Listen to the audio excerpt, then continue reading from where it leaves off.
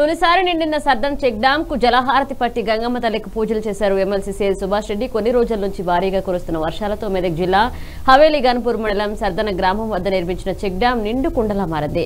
నిర్మాణం పూర్తయిన తర్వాత తొలిసారిగా చెక్ డామ్ పూర్తి స్థాయి నీటి మట్టానికి నీరు చేరడంతో వర్షంతో స- సర్దక్ చెక్ డ్యాం వరకు స్వయంగా ట్రాక్టర్ నడుపుకుంటూ వెళ్ళిన సీఎం కేసీఆర్ రాజకీయ కార్యదర్శి ఎమ్మెల్సీ సేల్ సుభాష్ రెడ్డి స్థానిక రైతులు ప్రజా ప్రతినిధులు యువకులు భారీ ఎత్తున చెక్ డ్యాం వద్దకు చేరుకుని జలహారతి పట్టి గంగమ్మ తల్లికి పూజలు చేశారు.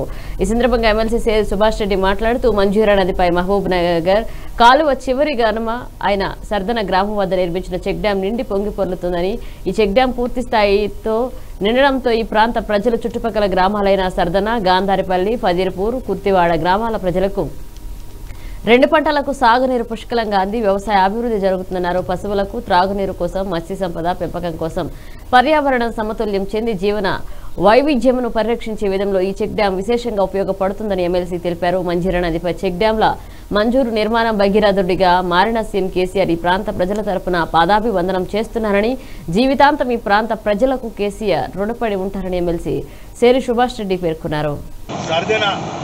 గ్రామ ప్రజలందరి తరఫు నుంచి ఇవాళ ఏదైతే ముక్కోటి ఏకాదశి సందర్భంగా ఒక మంచి దినం రోజు ముఖ్యమంత్రి కేసీఆర్ గారు ఇక్కడ ప్రజలందరూ రైతులందరూ మంచిగా బతకాలని ఉద్దేశించి మంజిరా బాగు మీద అయితే చెక్ డ్యామ్ కట్టిర్రో.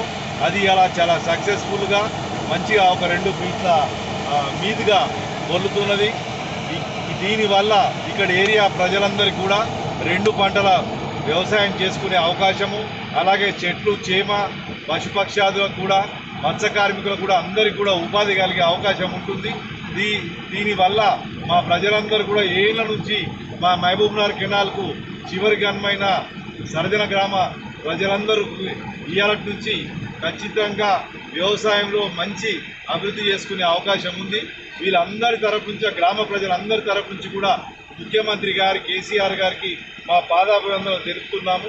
ఎప్పటికీ మేము ఉంటామని ఈ ప్రజలందరి తరఫు నుంచి కూడా మీకు హామీ ఇస్తున్నాము.